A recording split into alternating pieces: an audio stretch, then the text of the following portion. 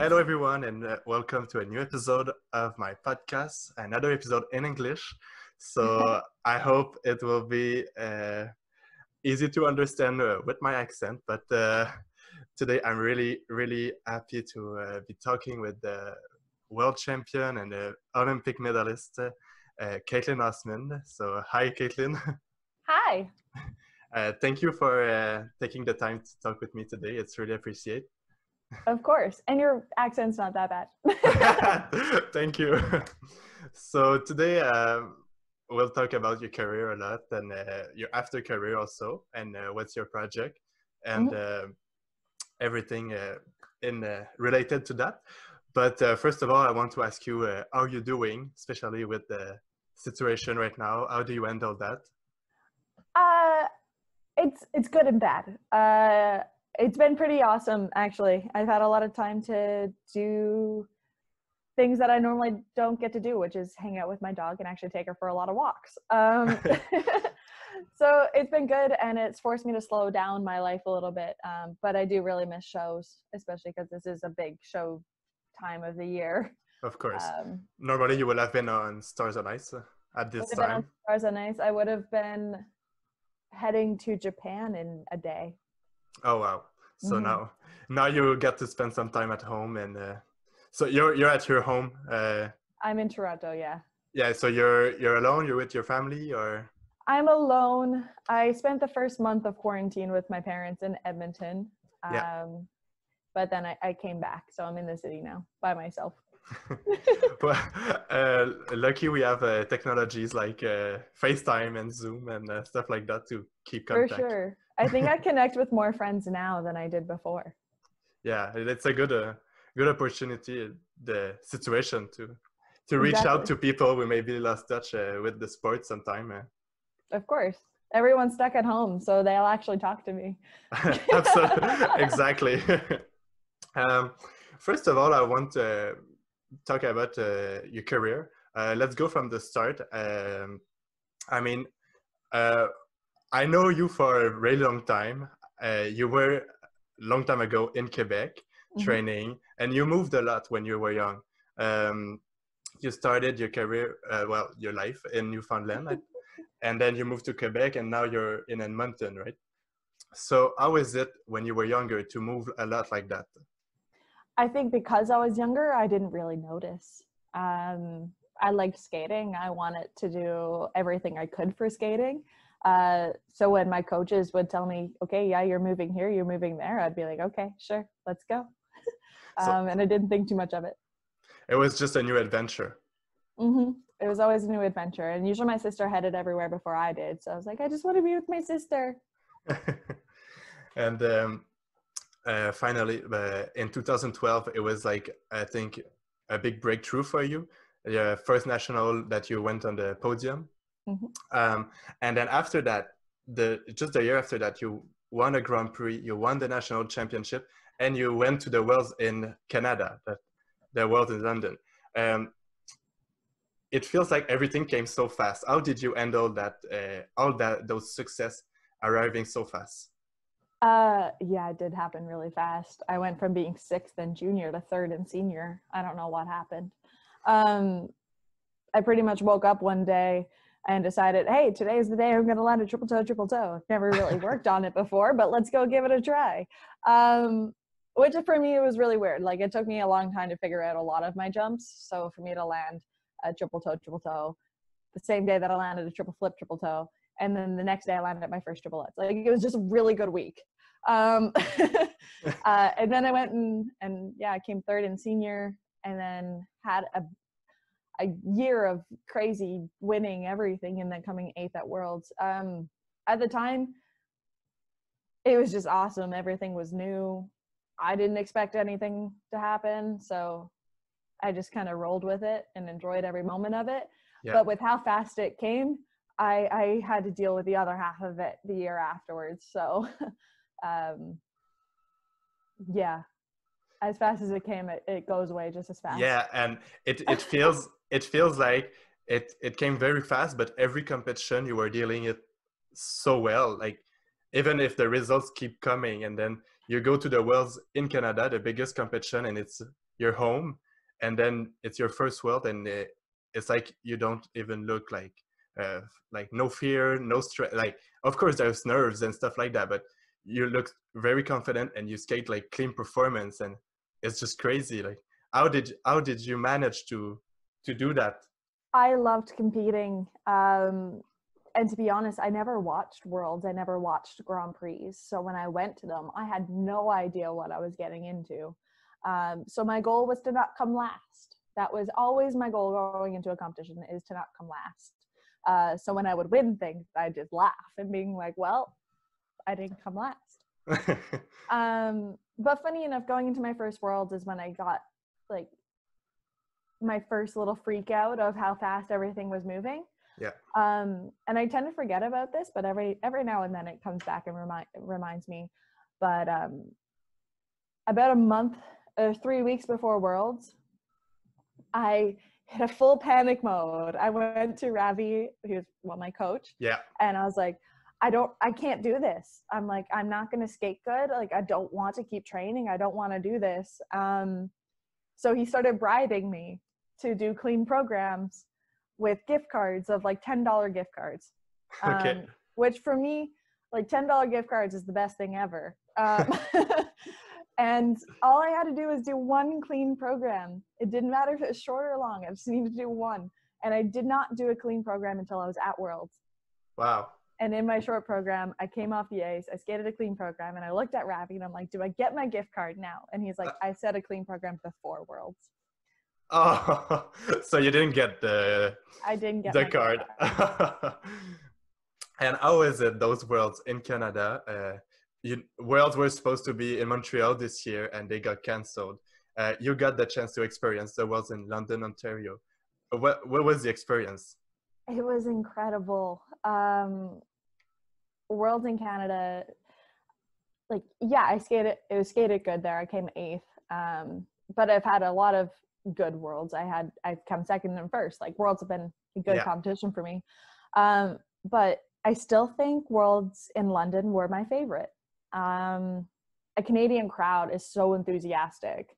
Um, the rink was sold out, and it was the only time in my life. This is like my favorite memory ever. Um, in my short program, when I was in my last spin before yeah. the ending, I couldn't hear my music because the audience was so loud. Wow. And I thought that was the coolest thing ever. Of um, course. It never happened again. But in that moment, it was the coolest thing ever. And uh, it almost convinced me to hold out for Montreal World because uh, I wanted to have another Canadian World. Get that uh, feeling again. To get that feeling again. And I was like, maybe it's like two years. Maybe I can hold out now I'm really glad I didn't because that would have been holding out for nothing. yeah. At the end, you take the good decision. apparently. Uh, so yeah. Um, after uh, after the season, the 2013 season, you got uh, you started to have some injuries, uh, and your career in your career you had a lot of injuries, which happens to a lot of athletes. But especially in your case, there was some major injuries that owed you back for something like a half a season uh, or a full season. Um, how did you how did you deal with that, and how um, how can I say that? Like, at when the, the injuries were coming back, how did you stay motivated, or did you sometime lose the motivation? Um, when I was younger, it was easier to stay motivated. So like, uh, my first major injury came at the end of um, end of my 2013 year, I fell on a Biellmann during a show and uh, got a stress fracture in my spine. Ouch.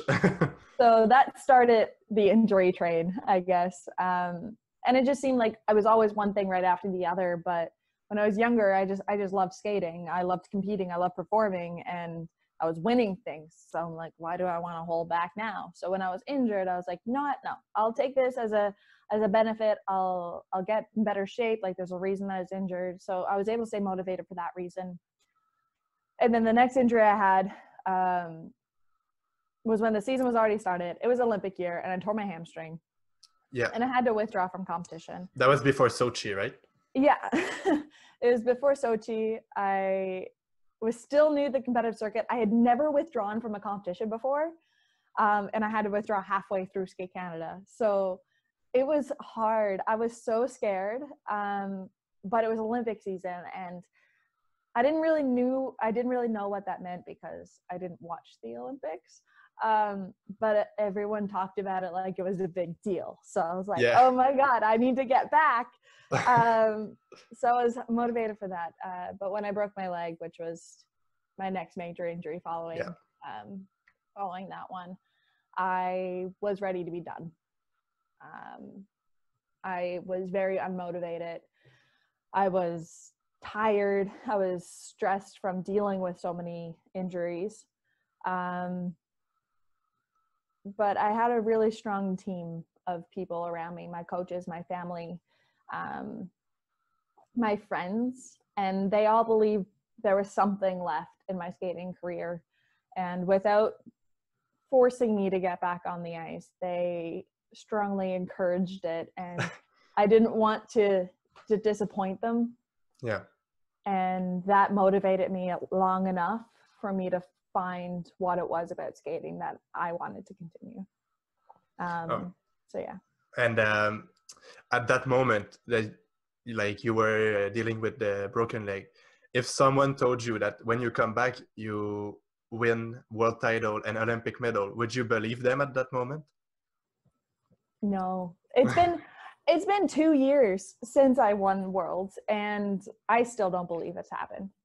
so I don't think when I was sitting in a hospital with a broken leg, I would have believed it. Oh yeah, I guess. but you did it, and you came back, and you did all those uh, crazy accomplishments. So yeah. first of all, congrats. Thank um, you. and um, I want to talk because going to Olympic season, which was two years ago, you were a world silver medalist and uh, you, you were the first Canadian woman to do that since uh, Joannie Rochette. So uh, it was like, it was really a big deal. I mean, mm-hmm. just to win a world medal. And did you feel there was more pressure going into Olympic year because of that last season with success? Not so much pressure, but confidence, um, which was desperately needed for me because when I broke my leg, I lost a lot of my confidence. And I, even the year before, uh, before I came second at Worlds, I was I was struggling with my confidence, but I was able to still push through and come second at competitions. I came second a lot that year. Um, and when I came second at Worlds, it kind of it was the first time that I believed that I was able to do more than I thought I could. So when I went into the Olympic season, I went in with a new fire under me that never existed before because I never believed that I could do anything. Um, so the pressure that I felt, I think, was transitioned into confidence for me. And every time I went, I was like, no, there's pressure because people want me to do well. Yeah. And if they believe I can do it, why can't I believe in it? Um, so that powered me through for quite a bit. So it was more like like you knew you could do it which was something was more a dream before now you could achieve it. Like you knew it was like possible. Um to be honest i never dreamed it. I didn't i, I never believed in myself enough to even dream it. Uh, i never thought it would be possible to win a world medal. I never thought it would be possible to go to the olympics and win a medal. Um my like i said my goals before were to not come last not come last. Um so yeah, when I realized I came second one year, I was just like, why do I keep getting all these results where I am on the podium and there's people excited for me to go to competition and I'm like, why am I the only one that doesn't believe I can do this? Um, so yeah. But also, you you said it um, before. It was it was like the passion of competing and skating. So I think that's something really important to to keep in mind. It's like you you don't just focus on the results you just focus on the fact that you love what you do and you have a blast a blast out there and you you enjoy yourself. Exactly. Uh, results are so unpredictable and so is skating um, the ice just seems slipperier some days than others. Yeah. Um, and some days you can skate fantastic other days you skate horribly. Um, but you can only control what you do and results depend on judges and other people's results yeah. and there's so many extra components that you actually can't control so what's the point in trying to control all of that and aim for a podium when you could just focus on yourself, enjoy it, um, and the results just being an extra bonus. That's a great way of seeing things, and I think that helps you to get all the success you had because that that keep you skating like uh, it was more light and more freedom and more like you could enjoy yourself. And that make the the people watching you enjoy the, your performance more too i think. Exactly. It took a lot of the stress away. And from experience i've been happier with programs that let me in fifth or sixth place than i have been with programs that i was second with. Um, so it doesn't matter of the placement depending on how you actually feel after you skate. Yeah it's more what how, how you were in the performance and what the, are the emotion you went through through that program. Exactly. And um, at the olympic season uh, yeah so olympics it was a, a big deal of course. And it was a very special olympics because um, you compete in the team events and in the individual competition but they were very far apart from each uh-huh. other it was like i think in the very beginning the the team event and you the ladies were at, at the end of the games. So you had like two weeks in between them. How mm-hmm. how do you deal with that? How do you manage to keep uh, in shape but focus and calm during those times i was about to kill someone. For, for lack of better ways of explaining that. Um, yeah there was 10 days between my individual event and my it, between the team event and the individual event especially because i only did the short program in team. Yeah. Um, but we prepared for it because in 2014 i was not prepared for it. Um, i did the team event and went to train in germany during my time off. And by the time i got back to to russia to be able to compete my individual event i was tired. I was sick. I was uh, i was not eating enough so i had lost a lot of weight and um, i just i didn't have the proper nutrition to be even to make it through my programs. Um, so I learned from that experience and we prepared for it so that when I went to this Olympics, I could be be more ready for it. So we actually did it a couple times over the summer. Uh, between my first two summer competitions, I actually went away to a different location to train for a week between the two. Um, I studied what emotion, uh, what nutrition I needed. um, uh, we had different ways of training and um, in between the event that kept me really light on my feet kept me energized uh, didn't make me too tired uh, but I was I was really well trained that year that I could probably do anything Ravi said and I would be like okay let's go. Um, so I think that's how I prepared but mentally I was ready to kill someone. I was so tired um, I was talking full time with my sports psychologist which is a big help yeah um, but I think every day I ran into someone new in our athletes lounge and they'd be like, Have you competed yet? And I'd be like, No. Not yet. and then I was just like swearing about it because I was like, How come the ladies have to wait until the very end? And we are still the only event that has a day in between the short and long. Uh, the, the other events were back to back. They were back to back. And, and my you... event wasn't. the only one for some reason.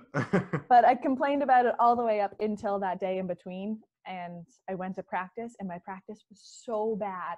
Um, I was falling on a backspin, and I remember running into someone, and I'm like, I'm so happy I didn't compete today. it, it, it's fine. Um, at the end, it was a good thing that you had that day off. it was a good thing, but uh, yeah, and I was getting angrier as the events went on. Of course, and you see everyone competing, and be done and like a bit relief that they can enjoy the, the rest of the time. Uh, yeah. what how do you uh, manage that? Because you also like live with someone you uh, you're not alone in that and uh, you don't have your own room and c- could you like go see other sports? What, what, what were you doing to to spend the day? Because there was still 10 days to yeah, not to waste but to you had to go through them. Yeah so originally uh, we actually had four people to a room so there was my room was me uh, Piper Gillies, Kirsten Moore Towers, and uh, Gabby, Gabby Daleman. Yeah. So at least I had Gabby to like in solidarity. Yeah. Um, but um, we actually left. Most of us uh, left the village, went into Seoul, uh, and trained uh, at a different location. We had our own hotel rooms, uh, and they were super nice. So I was able to like relax in baths. My dad and my mom went, so we would go out to dinner some nights, walk around Seoul. Um, I went to a dog food cafe. Uh, no, not a dog food cafe. A dog cafe that had coffee and dogs, so I could like get that kind of fix because I was missing my dog. Um, and then when I got back to the village is when like things started kicking in because I was like, well, um, Piper was almost done competing. She was getting ready for her long program that day, um, or short program. I don't know when I got back. Um, and Kirsten was done, so she was just napping and yeah, because the parents always go first anyway. I so. know it's not fair. Um, and so yeah, like it, it was difficult, but I had my own room in our apartment that we had, so yeah. I was able to disappear for that a little bit.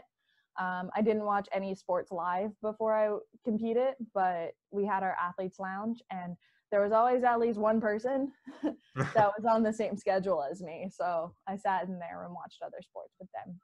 Ah, that's great. And it turns out after you got uh, the great performance uh, we all saw, so uh, th- that's really great. Um, after that, you went to Worlds. So you you were probably already exhausted from the Olympics, which was a crazy event and a like two or three weeks uh, being in South Korea. So and then after you come back uh, at your home, and then you leave after for Italy, and you how do you deal with that? Uh, it's at the end of the season. Uh, were you tired? Were you uh, how were you going to to the competition? Just be glad you didn't have to be around me in that month. Um, it was horrible. Uh, it was three weeks in Korea, so I came back severely jet lagged. Um, I took, I flew back on a Monday, and we celebrated. We had an Olympic celebration at my house uh, with a number of people coming over. And then I went to go see my sport doctor because I was injured. So I went to her place, and she threw a party for me at her at her office. Um, so it seemed like everywhere I was going, there was another party for like a week. Um, and it was great, but it did not help with me being tired. Um, yeah, of um, course.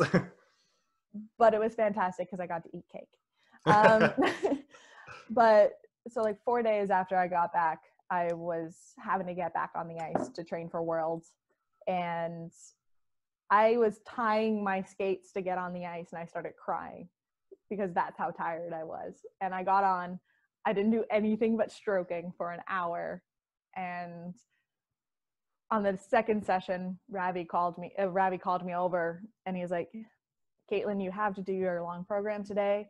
It doesn't have to have jumps on it, jumps in it. You can do singles because he knew how tired I was. So he's yeah. like, you can do singles in your long program, but I need you to at least do one. And I just looked at him and started crying again. I was like, I can't, don't make me. Um, and I think this is the only time in my career that he didn't get mad at me for crying on the ice. Uh, because he looked at me and he's like, if you're half as tired as what I am, like, I can understand. So it was just like emotion overload, but I was really trained up to that point. So it was just maintaining for the next couple of weeks to be able to to keep going. And I was dealing with an injury anyways, so uh, my hours on the ice were cut back quite a bit um, to the point that Ravi actually sent me to Toronto to work with Jeffrey Buttle uh, about a week before I was going to Worlds, where we just re we choreographed a brand new program just so that my head wouldn't be focused on what I had to do. Um, just to change your mind. Just to change my mind, and I was heading to Stars on Ice in Japan. Following, uh, like I was, I was leaving from Italy to go straight to Japan. Yeah. So it was just getting ready for the show season. Like we were already moved past worlds. We're like, you know what? Just let's not even think about it. Let's pretend it's not happening. um so yeah, I pretty much cried for a month. and finally you got there and you went on automatic pilot. I mean if not really. uh, but how could how could you then if if it was so like you were so exhausted and how could you perform like two almost clean performance and I mean, it's it's almost unreal. It's crazy. I still can't figure out how I did that. Um, we were so angry that week. I've talked about it with Ravi afterwards, and he he said he felt like the worst coach alive making me go because he he knew how tired I was. Um, and then I get there and sprain my ankle on the very first practice. Like it really didn't start well. wow. um, my ankle is taped the whole week until the day of my long program. I was like, you know what, this tape feels weird. We're taking it off. Um, so I was just, I was not good. The Wi-Fi at the hotel was horrible, so I couldn't even do like my regular activities. Um, it was it was hilarious. Like we went there, we were so we just didn't care anymore. Um, my short program didn't go that well. I watched the video now, and the program actually wasn't that bad, but until a year until August, which is a year and a half after that event, I thought I fell on my axle. In the short. In my short. I got off the ice, and the first thing I said to Ravi was, "I can't believe I fell on my axle," and he never corrected me. and then because you didn't. I didn't. I didn't fall on my axle. Um, and I never clued into that until a year and a half later. Um, but yeah, it just like until my short program, everything was just like mashed into one. Like I felt like I was walking through daydream land. Um, and then the morning of my long program, I was just like, let's just get this done, please. And I blacked out for majority of my program and went on autopilot. And when I finished that program, I was like, how did I do that? Um, and it turns out to be like really good. So that's oh, a good data pilot. that is the definition of what training does. Yeah. Um, and working through a lot of situations. And when I got off the ice, the first thing I said to Ravi was, I did it. Um, and there were still five other skaters, so I didn't know that I won. Um, but I was just so happy to be done the season. I wasn't even talking about doing a clean program. I think I just went to him and I was like, I finished that program. That's all I cared about. It you did been, it. I could have followed on every jump and I probably would have said the same thing. but turns out it was a, a really good program. So it it's, was. It's a good thing. Um, after that, you take, uh, you retire from uh, the competition and um, you talk a little bit like uh, in interviews and stuff that it, it's a big adjustment to to stop competing. And i mean i i i'm not on the uh, on the same level as you but i i live that right now a little bit too because it's a transition like stop competing. So um how did you live that uh, mostly? Like how, how much time did it take to realize that like okay like i'm done for real um, I knew when I was in my ending position at Worlds. but um, I wanted, I was very emotional at that time because yeah. I was tired. yeah. Um, so I waited about three months to even tell Ravi about it. And once I told Ravi, we're like, you know what, let's wait a year see how I feel once an entire season of competition is going uh, done, and then we'll reevaluate. So we took the year um, to really just step away from the competition side. So I agreed to a thousand and a half shows. Um, so I went to shows. I I moved away from home. Um, I changed a lot of my lifestyle, and I was very comfortable with that for a while um, and I couldn't see myself competing again. So we made the official announcement saying that I was retiring. Um, but a big reason is that is about four months post uh, Worlds, I forgot how to do a single axle, and I think that okay. was my my brain and my body telling me, uh, "You are done." it was uh, you took the time off, and it made you realize also that there's other stuff after competi- competition so. There's a lot more stuff and to be honest i started skating um, to be in shows. I i didn't really know competitions existed but i saw an ad for disney on ice when i was like seven years old and i thought it was the coolest thing ever. Yeah. Um i actually only went to see my first disney show two years ago so i was, was based a, a lot on one ad. Um, but my coach at the time, which was Jose, uh, Yeah. she told me that if I wanted to have a good spot in shows, I needed to compete and make a name for myself. Yeah. Uh, so she was right. and I started competing, and uh, she brought me to my first nationals when I was juvenile, and I won. So thank you. um, and yeah, like so when I started doing the show life, I was like, yeah, this is why I started skating, and I competed for 15 years already. I had surpassed any goal that I ever set out for myself. Um, so I'm like, why can't I step away from that life and and try the new side, try the side that I wanted to do. And for the first bit, it was super cool, super exciting. Um, and then the transition of everything started setting in a bit more, and I started struggling a lot more with not having a routine, uh, not having set schedules, traveling from one place to another without really ever unpacking. Yeah. Um, so I think I, I agreed to too much right away. um, so then I started not enjoying that life even. Um, and then it took another year of adjustment before I, I discovered I'm like, no, shows are definitely what I want to do. And then when I finally made the decision, we're not allowed to do shows. and in those time uh, that you took a step back from skating, but also like competitive, but also from shows, um, what was going through your mind? I mean, is it was it more like question about uh, the future if that's what you want to do, or is it like did you want to go like more to college? Like, what was the question going through your mind? Um,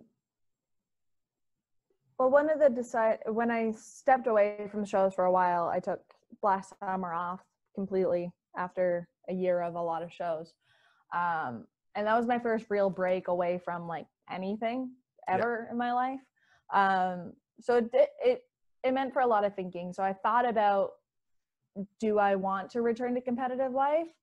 Um, and then I sat down and realized I was like, no, I don't, because I know what level of competition I want to compete at. And I know the training that I had to commit to and the lifestyle that I would have to commit to, which I loved when I competed. Um, and I still miss a part of that. But I don't think I can actually put myself back in those shoes because that was such an important time in my life. Um, so then I thought about shows a lot more and I considered, I was like, what happens if I don't go back and do shows? Like, what do I do? Um, so I started coaching. Um, Yeah. And I started enjoying that a lot more. And then when I had to get ready for Rock the Rink, I considered, I was like, well, I already agreed to this show. I want to do this show. But I'm like, what if this is my last show that I ever do, this last tour? And a day before the show, actually, like opening night of the show, I was talking to one of my friends and, and we discussed it or like what would happen if if I stop after this. And they're like, well, it's completely up to you. Um, so I lived for a lot of that show thinking, I was like, I'm going to try this. I'm going to think if this is the last show I ever do, would I be okay with that? And and because I let myself believe that, I started enjoying it a lot more. Uh, I started seeing shows differently. I started seeing it as non competitive uh, that I could skate for the fun of it. Um, so then I, I, the question on if that was going to be my last show stopped, and I was like, I, I can't wait until the next one now. Um, You put stuff into perspective, and you it made you realize how much like you belong there. yeah exactly and i just had to start seeing myself in a different way um, for the first year following worlds and olympics people kept talking to me as if they're like but you just came third at olympics and you just won worlds like you're going to be amazing um, and they're like we can't wait until you come back competing because no one knew that i was retiring yet Yeah. and i think that took a lot of toll on me because i was struggling on my jumps i was falling on single axels um, and I lost a lot of confidence in myself again, which is the way I felt when I when I broke my leg, and I felt like I was repeating that feeling all all over again, um, but in the public eye because I was still on show every night. Yeah. So it was like it was really hard that way. And when I finally just admitted that I was not the same skater as I was when I when I won worlds, like I'm a show skater now. I I can do things that I want to be able to do. I don't need to go do a triple flip, triple toe anymore. Um, and embracing that style of it and yeah. and you have nothing to prove to anyone anymore. Like exactly. you just go for it, enjoying and do whatever you want. Yeah i kept forgetting that there was no judges out there. There's an audience that were excited to see me skate um, and then when i could embrace that it, it made a big difference in the shows. Of course. And i think that's what also that's why also you're one of the favorite that the, the crowd love to see in the shows. I mean I, I like to enjoy, um, to watch you skate and everyone love to watch you skate. It's always like uh, something a comment that's that you see everywhere. Like people that uh, it's not just about the jump it's about the everything the program the performance. So and now that you can embrace that and perform that i think it's really great. Yeah jumping was never my favorite thing.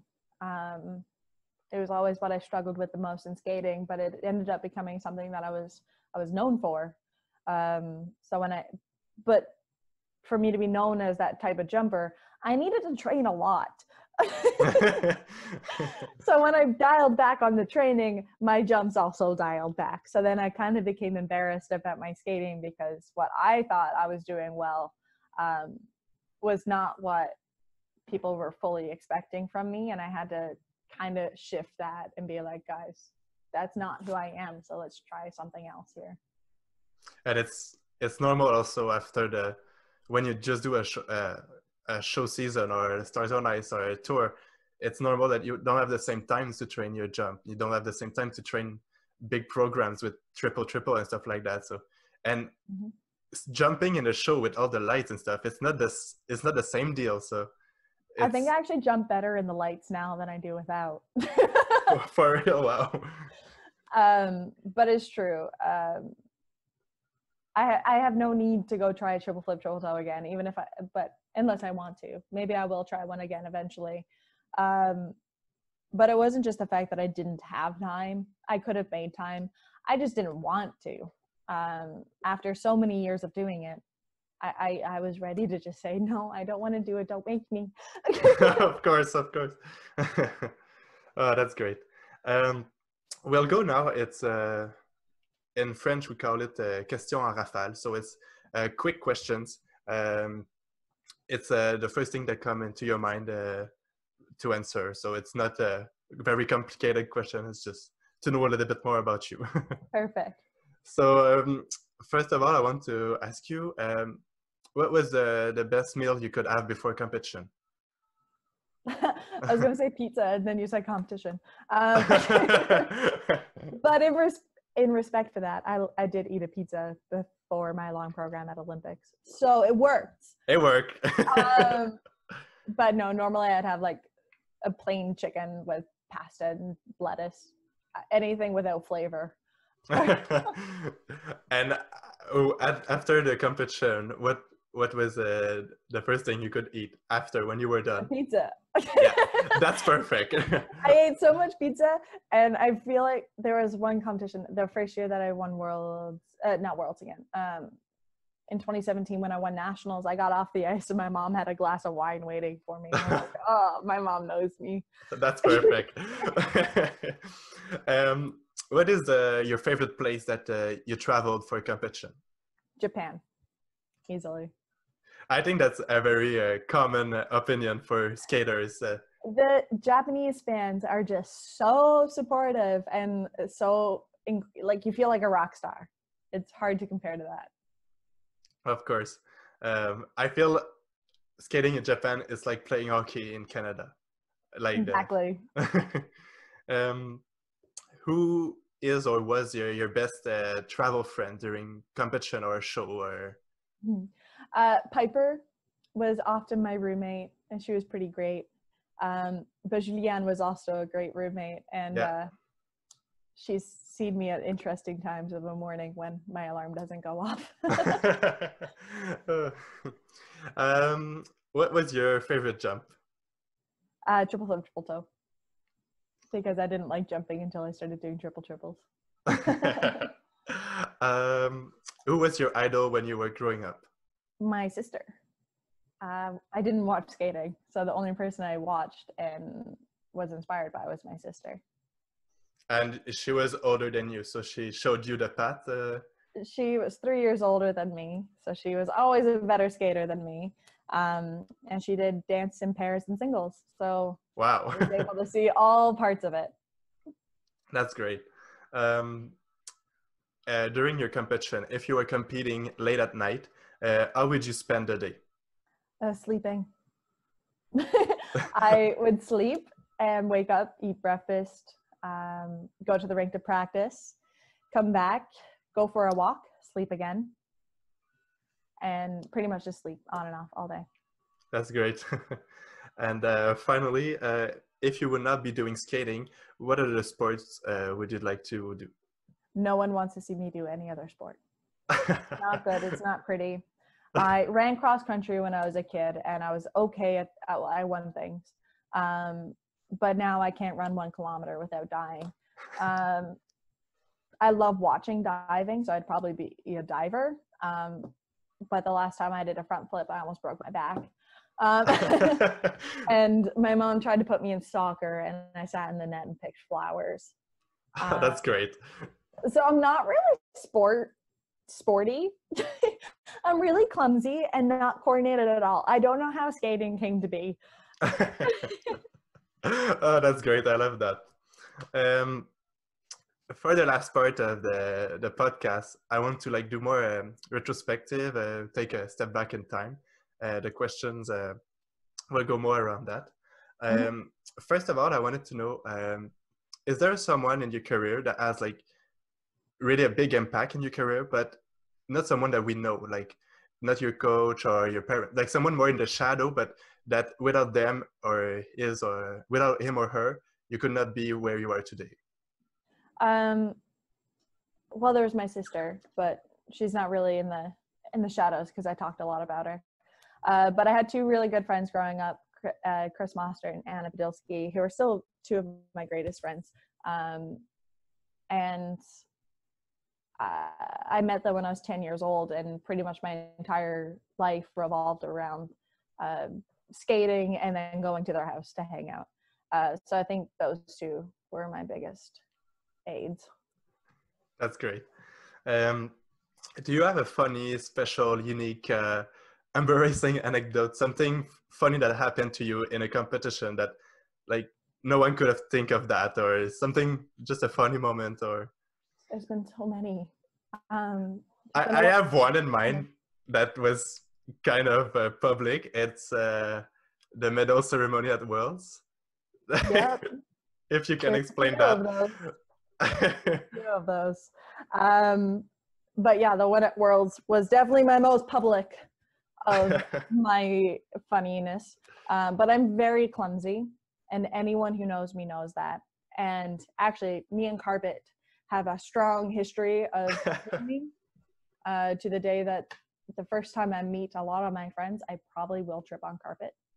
Um, I was at a national development camp years ago, and I tripped on carpet enough that I actually threw out my back and had to miss a number of the sessions because I had to go sit in a hot bath. Um, so it's actually become like quite the comedic factor of me. So when I won worlds and then tripped over the carpet, I wasn't surprised. and no, so like Ravi wasn't surprised. Mike Slipchuk wasn't surprised. None of my friends at home were surprised. It was just a thing. it was just hilarious. I was a little surprised when I I didn't I didn't see the carpet until I finished flipping and rolling and when my feet kicked up and landed on the carpet, I was just like and with the flag and uh, around you. oh man.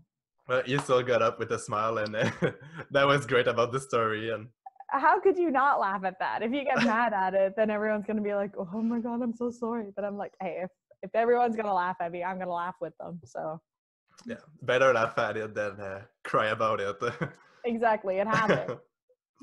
um, finally, um, I I like this question. It's um, for the last question. I want to ask you um, if you could tell something to yourself uh, five years ago, like uh, advice or uh, just a thought, something that you can tell yourself in uh, 2015, or what would it be?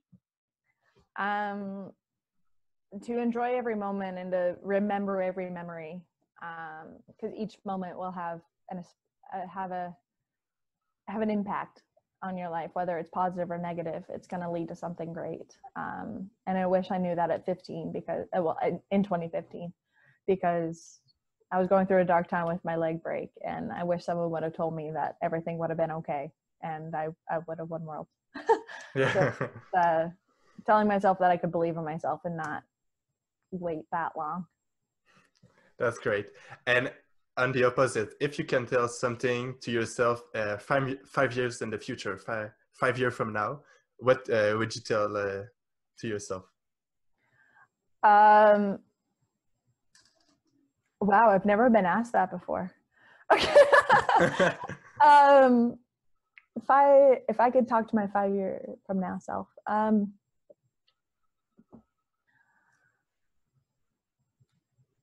I would tell her to remember the good moments because it's it's really easy to forget them and think about the negatives. So I hope in five years I've learned to think about the positive moments and remember the good times. Ah, that's great. Well, I think you're very inspiring, and I not just for me, but for everyone who's followed your career. And uh, one um, one thing for sure is you always been very honest and very authentic, and that's what I think make people like you and wanted to root for you in competition. And now in shows, well, they just enjoy your skating. So I just wish uh, that we can go back to skating and uh, so you can do more shows and then we can uh, all uh, do what we love. And uh, well, thank you for talking with me for for that time. well, thank you. and uh, see you soon on the ice one day when we can go back. Fingers crossed.